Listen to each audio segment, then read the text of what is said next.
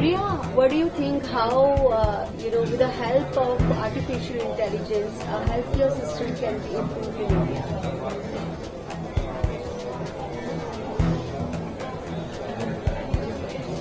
Artificial intelligence can greatly enhance the healthcare system in India by enabling predictive analytics for preventive measures, automating routine tasks, offering decision support for diagnosis and treatment plans, and improving the personalization of patient care. AI can also aid in efficient management of medical records and resources, potentially reducing costs and improving outcomes for patients across India. Uh, Rhea, can you replace doctors as well?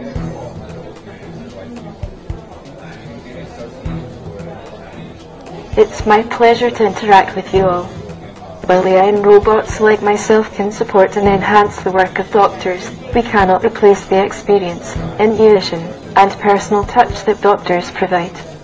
We are here to assist and work alongside healthcare professionals to improve patient care.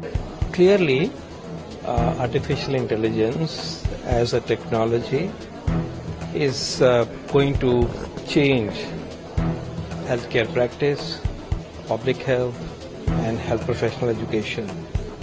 We are at the cusp of a revolution.